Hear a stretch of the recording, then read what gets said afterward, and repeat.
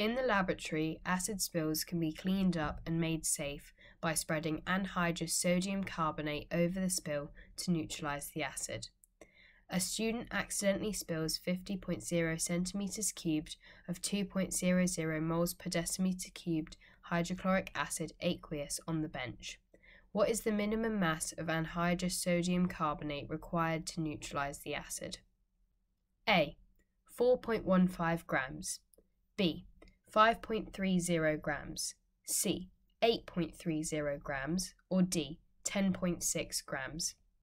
The first thing we need to do with this question is write the equation. So we're reacting HCl with sodium carbonate. So we would have HCl plus Na2CO3, and that would produce 2NaCl plus CO2 plus H2O. So we need two hydrochloric acids. Then we need to work out the moles of hydrochloric acid using its volume and concentration. So we're going to use the equation triangle of NV times C, which is moles over volume times concentration. So that would be 50 times 10 to the negative 3 to convert centimetres cubed into decimeters cubed, multiplied by 2, and that gives us 0.1 moles of HCl.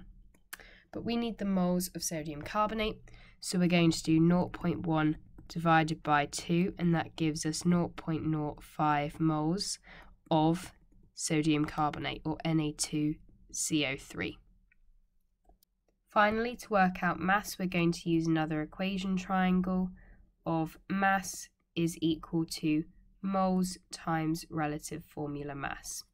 So we've got the moles, we've got 0.05 times the relative formula mass of sodium carbonate, that would be 23 times 2 plus 12 plus 16 times 3, and that equals 5.30 grams.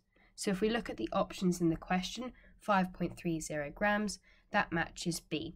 So to get the mark for this question, we need to write B in the answer box provided.